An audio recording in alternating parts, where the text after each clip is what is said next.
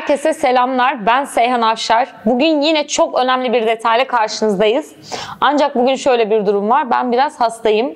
Malum İstanbul'da havalar aniden soğudu ve benim boğazım, midem çok şiddet şekilde ağrı içerisinde. Bir kusurum olursa siz izleyicilerimizden şimdiden özür diliyorum. Hemen başlıyoruz. Türkiye günlerdir bir operasyonu konuşuyor. Ayhan Bora Kaplan operasyonu. Ankara'da yurt dışına kaçmak isterken suç örgütü lideri Ayhan Bora Kaplan'a düzenlenen operasyon Türkiye'nin gündemine oturdu sizlerin de bildiği gibi. Kaplan'ın İçişleri Bakanı Süleyman Soylu ile yakın ilişkiler içerisinde olduğu iddia edilen bir detaydı. Bizler nereden biliyoruz Ayhan Bora Kaplan'ı? 15 Temmuz gecesi TRT binasının önünde eli silahlı adamlarıyla çekilen görüntülerden biliyoruz. Kaplan'ı 15 Temmuz gecesi TRT binasının önüne Süleyman Soylu'nun çağırdığı iddiaları vardı. Ancak Ayhan Bora Kaplan operasyonunun hemen ardından Süleyman Soylu'nun kuzeni olan Sadık Soylu ile telefonda bir görüşme gerçekleştirmiştim ve Sadık Soylu Kaplan'ı darbe gecesi o binanın önüne kendisini çağırdığını açıklamıştı. Şüphesiz ki bu detay Süleyman Soylu'dan bağımsız bir detay değildir. Bunun dışında Kaplan'ın emniyette kayıt dışı verdiği mülakatı çok tartışıldı. Neden çok tartışıldı? Kaplan'ın bazı emniyet görevlilerine ve yargıdaki üst düzey isimlere rüşvet verdiği iddiaları vardı. Bunlardan birisi yargıta üyesi Yüksel Kocaman'dı. Kaplan'ın kayıt dışı verdiği ifadelerde Kocaman'a Ankara'da bir villa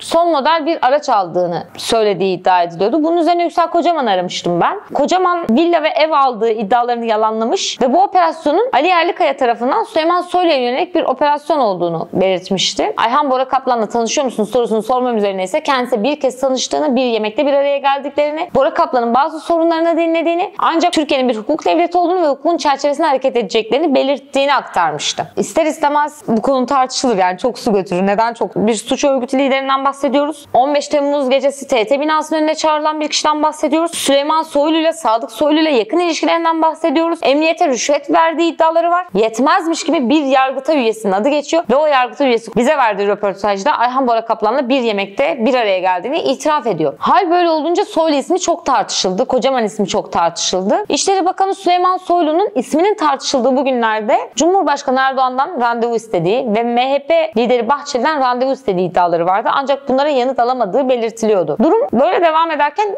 geçen günlerde bir gelişme yaşandı. Neydi o gelişme? Devlet Bahçeli sosyal medya hesabından zehir zemberek açıklamalar yaptı. Aslında biz alışkınız Bahçeli'nin bu üslubuna da. Gazetecileri hedef aldı. Gazetecileri hedef alırken bazı isimlere mesaj verdi. Öncelikle açıklamalarından birkaç cümleye değinmekte yarar var. Bahçeli ne dedi? Bahçeli Süleyman Soylu'yu yedirmeyiz dedi. Soylu terörle mücadele eden önemli bir siyasetçidir dedi. Soylu'nun yıpratılmaya çalışıldığından bahsetti. Şimdi Bahçeli'nin bu açıklamaları derin bir tartışmanın kapısını araladı. Bahçeli neden bu açıklamayı yapmıştı? Soylu uzun süredir randevu vermediği iddiaları vardı. Zamanlaması manidardı. Biz gazeteciler bu durumu şöyle değerlendirdik. Bir Ankara'nın göbeğinde işlenen Sinan Ateş cinayeti var. Bu cinayetin MHP'li siyasetçilere uzandığına dair iddialar var. Devlet Bahçeli bu cinayet dosyasının üzerine gidilmesini istemiyor olabilir. Cezaevinden çıktıktan sonra direkt Bahçeli'nin elini öpmeye giden suç örgütü liderleri var. Bahçeli suç örgütleriyle mücadelede kararlı olduğunu her defasında belirtilen Ali Yerlikaya'nın operasyonlarına devam etmesini istemiyor olabilir. Tüm bunların yanı sıra Ülke Ocağı üyelerinin, MHP'li siyasetçilerin bazı suçlara karıştığına dair iddialar var. Bahçeli Ali Yerlikaya'ya bir mesaj veriyor olabilir. Bahçeli'nin Twitter'ında yazdığı sözlerin ilk muhatabının Cumhurbaşkanı Erdoğan, ikinci muhatabın ise İşleri Bakanı Ali Yerlikaya olduğunu düşünüyorum ben. Bahçeli'nin bu açıklamaların ardından ne oldu peki? Benim saraya dayanan bir kulis yazım vardı.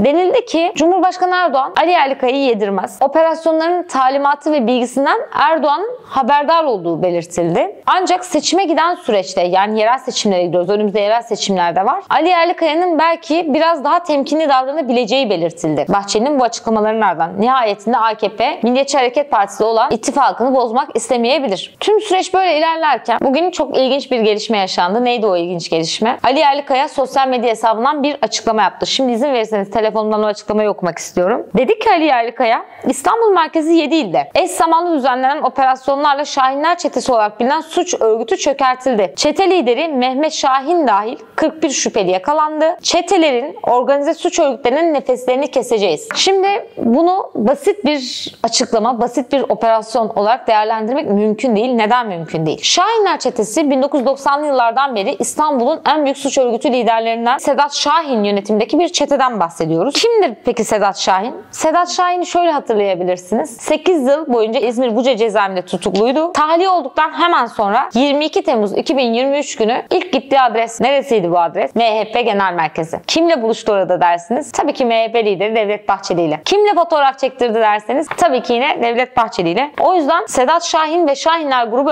önemliydi. Bugün Doçevelle'den meslektaşım Alican Uludağ'ın da bir haberi vardı. Tam da bu operasyonla eş zamanlı olarak giren bir haber diyebilirim. Belki daha erken saatlerde de girmiş olabilir ama ben öyle denk geldim. Alican Uludağ'ın kulis haberinde Devlet Bahçeli'nin açıklamaların İçişleri Bakanlığı'nda nasıl yankı bulduğunu, nasıl karşılık bulduğuna yönelik bir haber bu. Haberde yer alan ifade aynen şöyleydi. Ali Yerlikaya'nın Devlet Bahçeli'nin açıklamalarının ardından operasyonlar durmayacak Cumhurbaşkanımızın iradesi var şeklinde kurmaylarına bir açıklama yaptığı belirtiliyordu. Şimdi gelelim işin özüne. Devlet Bahçeli sosyal medyadan zehir zemberek sözler kullanarak Soylu'ya bir sahip çıkış göstergesi ifadelerle Cumhurbaşkanı Erdoğan'a ve Ali Yerlikaya'ya bir mesaj verdi. Verdiği mesaj sarayda Beştepe'de rahatsızlık yarattığını ben zaten yazımda yazmıştım. Gelinen süreçte Ali Yerlikaya bugün Bahçeli'nin elini öpen Şahinler çetesine yönelik bir operasyon düzenlendiğini belirtti. Sedat Şahin'in yeğeni olan Mehmet Şahin'in gözaltına alındığını aktardı. Acaba Böyle okumak doğru olur mu? Ali Yerlikaya bu operasyonla Sayın Devlet Bahçeli'ye mesaj verdi diyebilir miyiz? Şimdilik bizden bu kadar. İzlediğiniz için teşekkür ederiz.